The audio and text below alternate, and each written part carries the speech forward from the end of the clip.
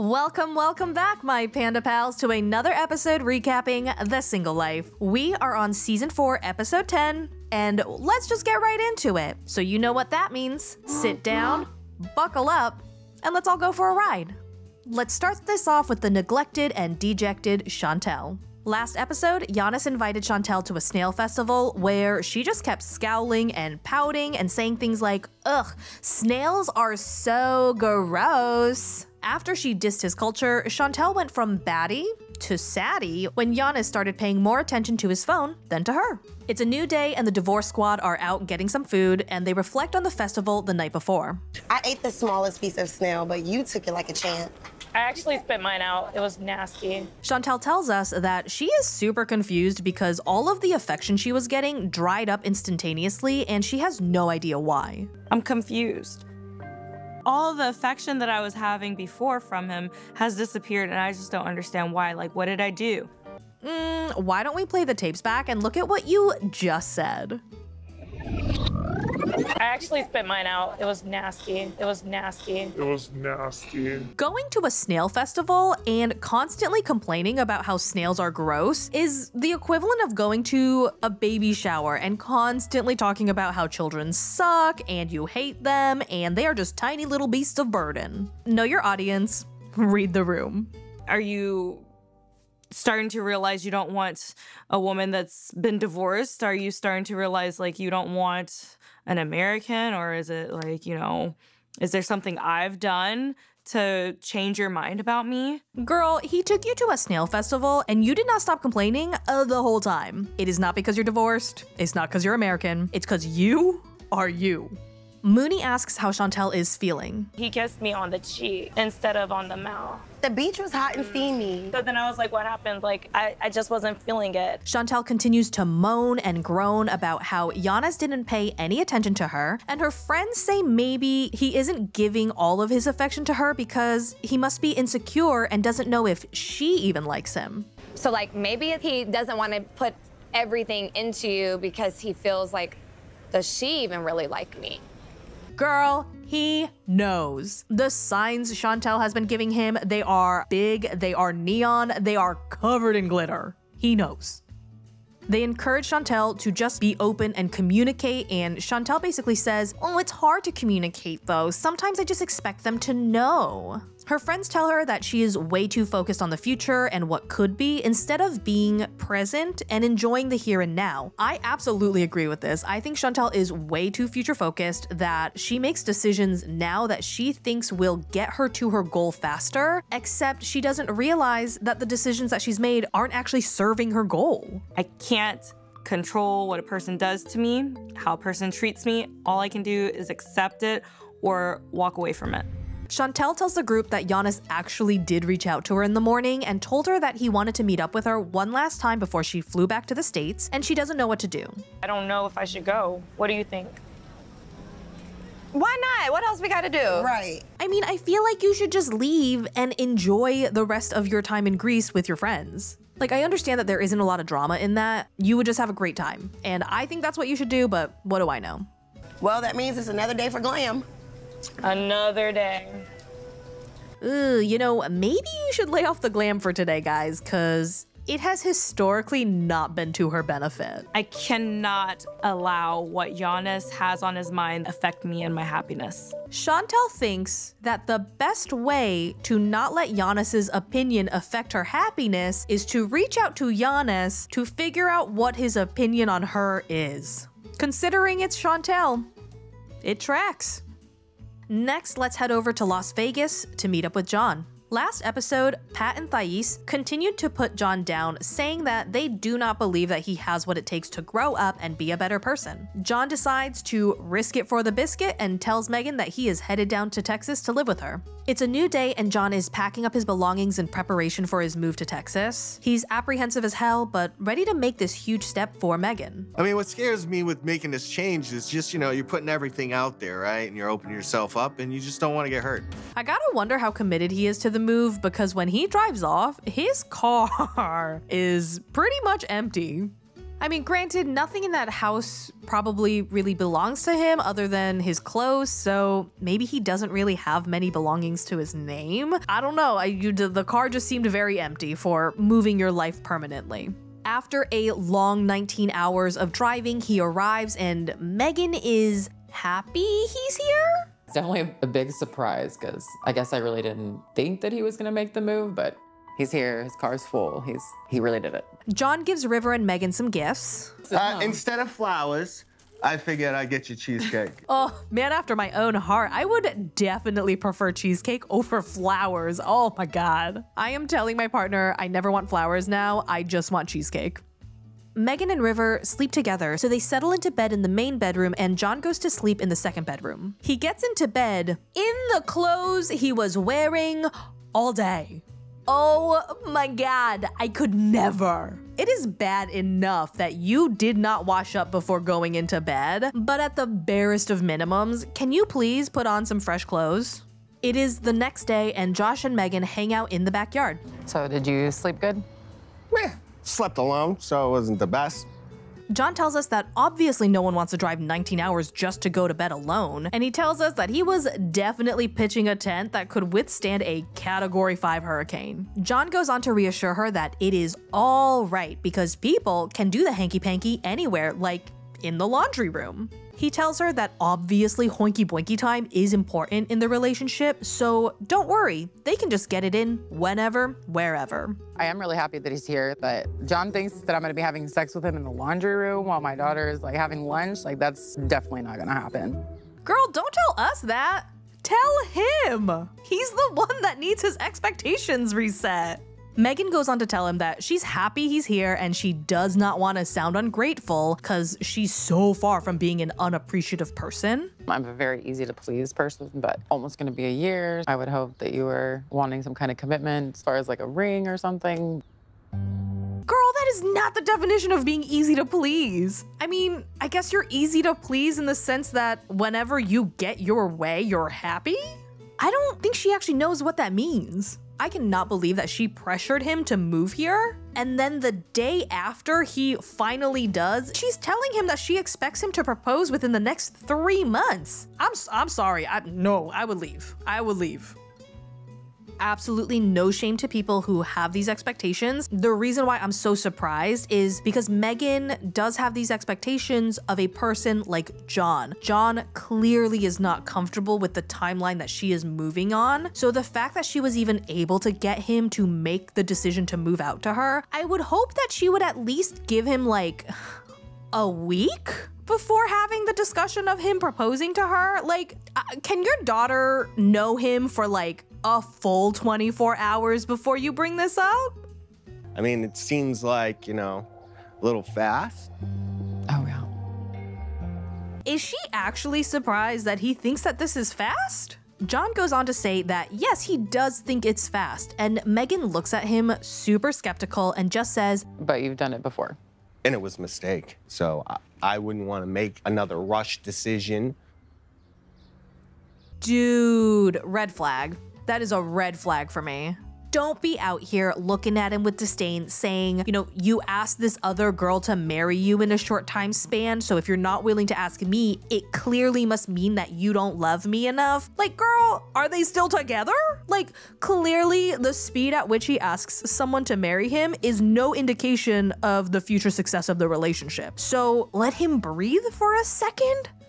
Meghan is clearly upset, disappointed, sad, whatever, and John says he loves her and she does not care. Now let's head down to Miami to meet up with Debbie. Last episode, Debbie introduced Julian to Reuben, and Julian proceeded to basically sabotage her by revealing how she dated a 24 year old, how she moved to Morocco for him, and how she's still sending money back to his family. Can you say cop blocker? The graffiti class is over, and Debbie and Reuben head out to grab some mojitos, which is great because both of them will probably need some of that liquid courage. Reuben is very level headed about this whole thing, and he tells us that he does not know if Julian was trying to sabotage their relationship, but regardless of his intention, what he said did raise some doubts in Reuben's mind, and he wants to clear up any potential misunderstandings so that they can move forward in a direction that is right for both of them, even if that means going their separate ways.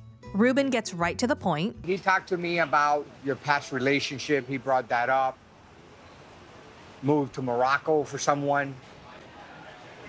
And then he Reuben says that Julian mentioned her last relationship caused a lot of turmoil for her family, and it has him concerned. Debbie is definitely surprised and clearly upset that Julian revealed something that is very embarrassing for her and something that she's quite ashamed of. She tries to explain it to Reuben as best as she can. It was no impulsive decision. I had known this gentleman for several years.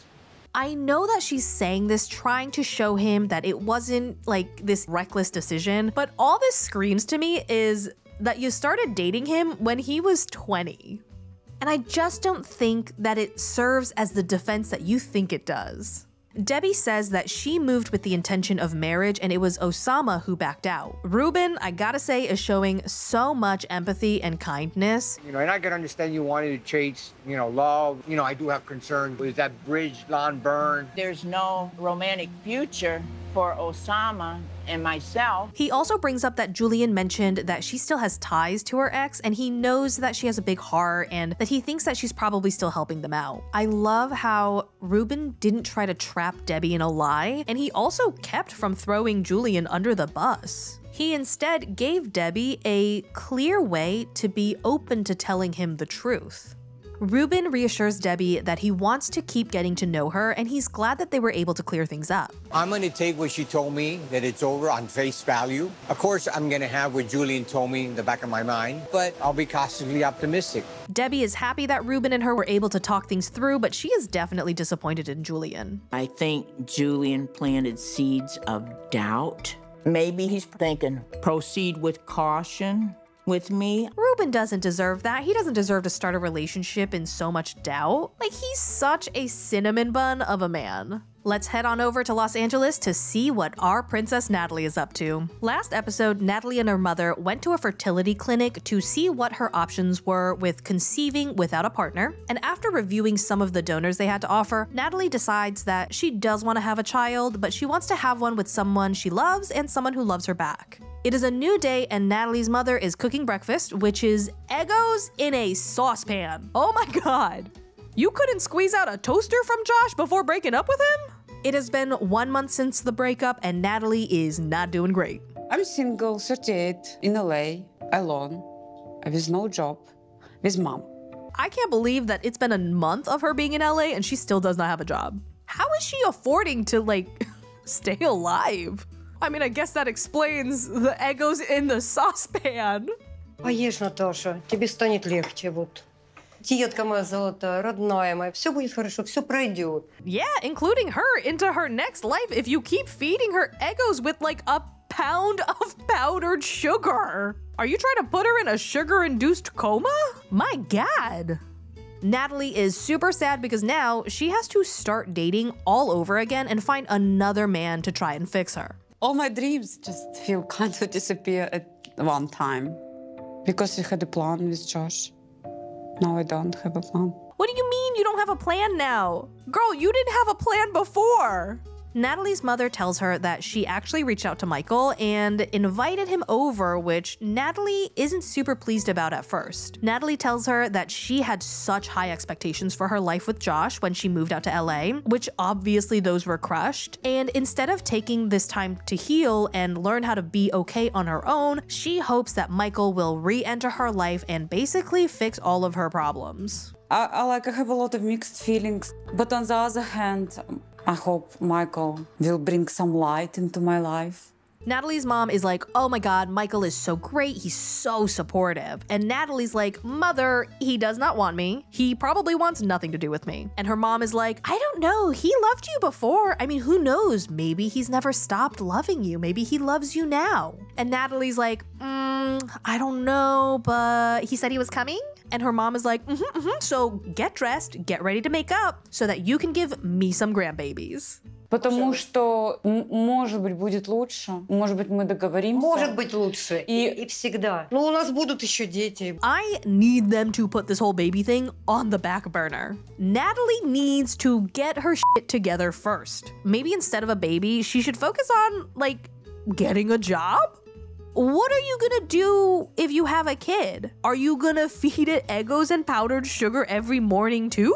Natalie starts to get excited and she tells us that even though Michael and her have not spoken in a year, she thinks that they could make a happy family. I still have some feelings for Mike. And I think like he might have some feelings for me too.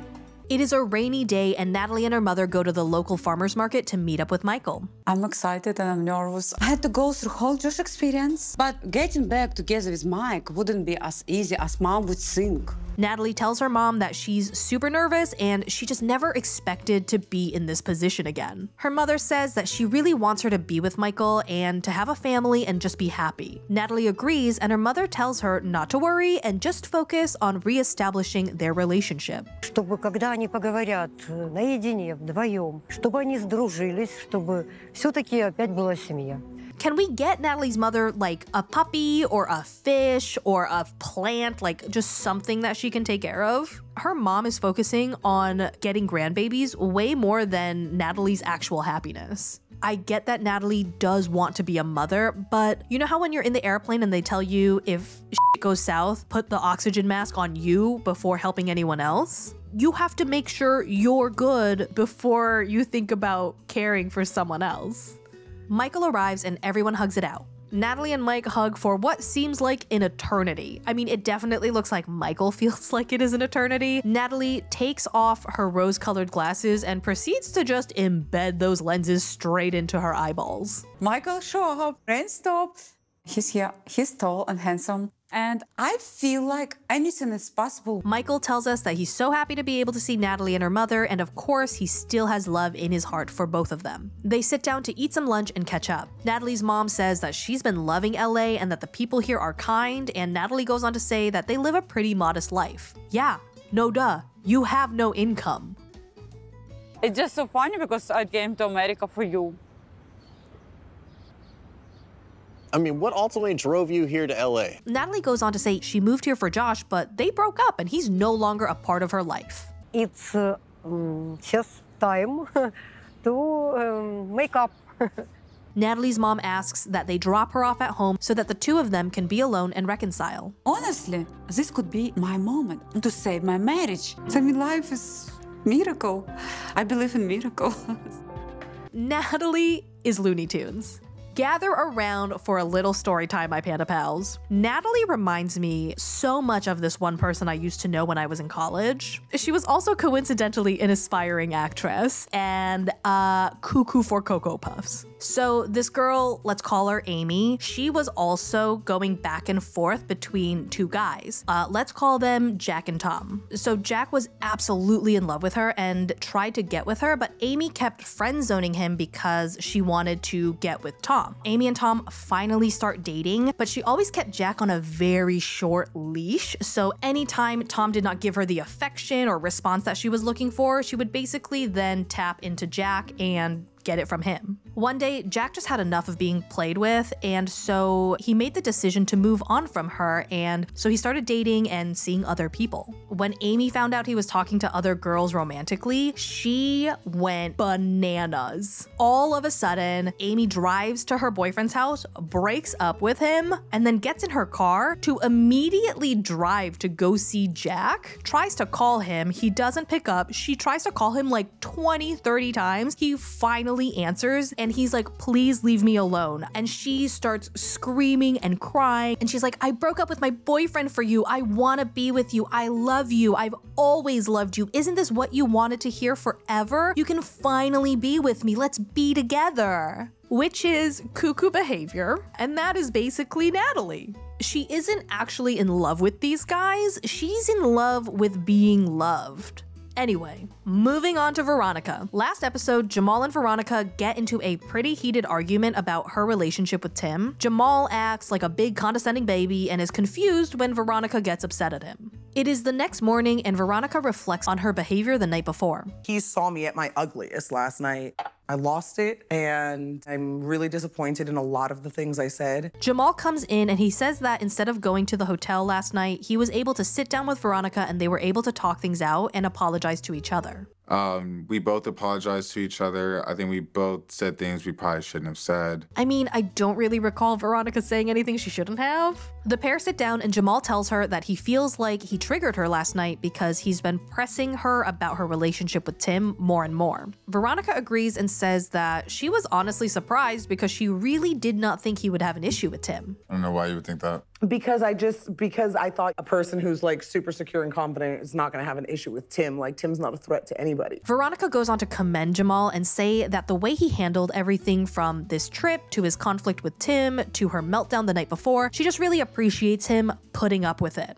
Listen, Jamal is speaking in a calm and collected manner, and it's not in a condescending way, which is great. I just hate how this feels like Veronica is just saying, I'm so grateful you could deal with my meltdown, and it just takes away any need for Jamal to bear any responsibility for his part in this argument. Like, Veronica, why did you even have the meltdown?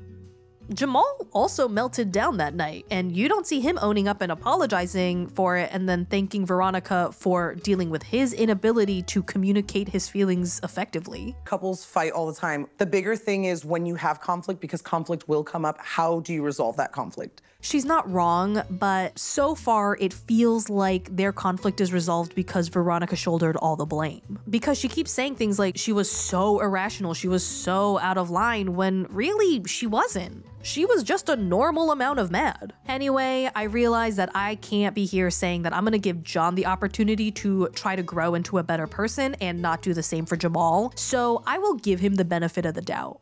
Jamal does make this easier to do by telling Veronica that he will keep working on communicating better and even brings up the possibility of moving out to Charlotte. Um, what? Shouldn't I have said that? No, I'm just shocked I haven't scared you off yet. Jamal reflects and says a lot of reassuring and introspective things. Whether I like Charlotte or not, I do know I want to be around Veronica.